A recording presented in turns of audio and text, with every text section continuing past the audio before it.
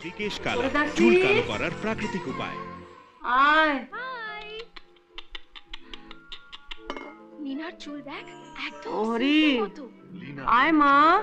করে আমলা আর vitamin E সমৃদ্ধ বোরোলিনের আয়। হরি।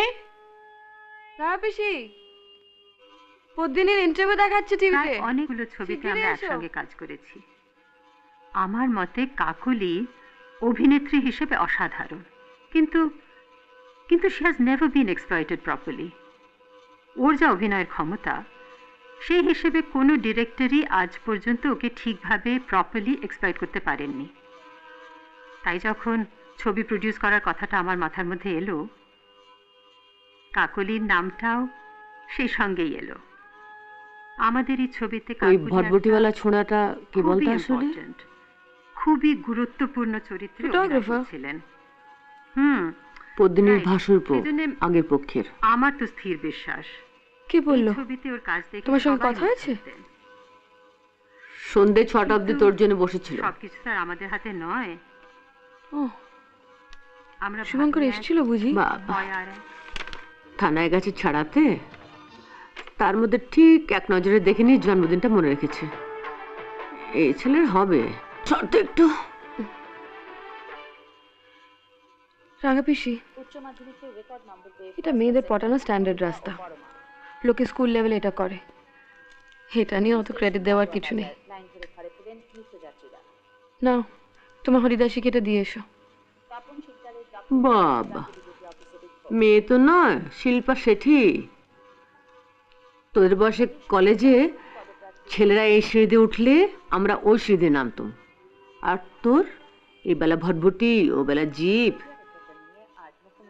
জন্মদিন নিয়ে এত ফাস্ট না করে পদ্দিনীর ছবিগুলো তুলতে গেলে পারতো। কন্ট্যাক্ট শিটটা দিয়ে গেছে? দুজনের মধ্যে পুলিশটাই ফাইনাল মনে হচ্ছে।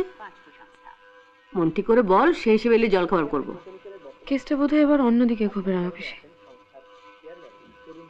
পদ্দিনী আজ একটা অদ্ভুত কথা বলল। সত্যি তো? ওর কোল্ড ড্রিঙ্কসের গ্লাসটা ও কাকলিকে দিয়েছিল। তার মানে বিষটা মেশানো ছিল ওর ক্লাসে। আমি ভাবছি অন্য কথা। ছোটবেলায় বলতো না শনিবারের মরা দোষণ নিয়ে কি যাবে? মানে? আমার এমনিতেই মনে হচ্ছে আরও একজন যাবে। মানে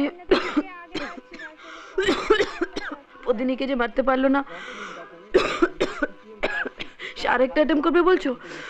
হতে পারে। আবার এক ঘর লোকের মধ্যে গ্লাস বিষ মেশালো। আর কেউ সেটা দেখেনি ভাবছিস? দেখলে সে তো বলেই দিত। পুলিশকে বলেনি? তাকে হয়তো খুনিকে বলেছে। হুমকি দিচ্ছে। বলছে টাকা ছাড়ো।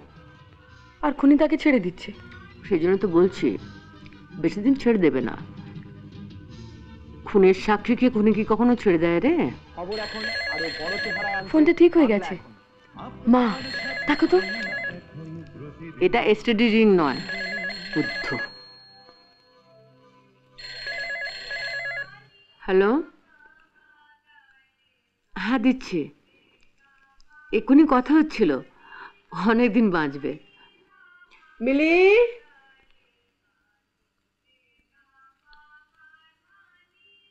এই না ধরো। হ্যালো? হ্যাঁ এক মিনিট। বলুন। একটু বেশি রাতে মনের মানুষ ফিরলো ঘরে। একটু বেশি রাতে লাজুক লতা ফুলের অরিন্দম। ওই বিষ করছিল বুঝেছি। একেই বলে ওস্তাদের মা শেষ রাতে। সত্যি ভটভটিবেলার কপালটাই খারাপ। কত কষ্ট করে জন্মদিনের লাদ ধরে এক ধাপ এগিয়েছিল, আবার যে কেসে লা বল।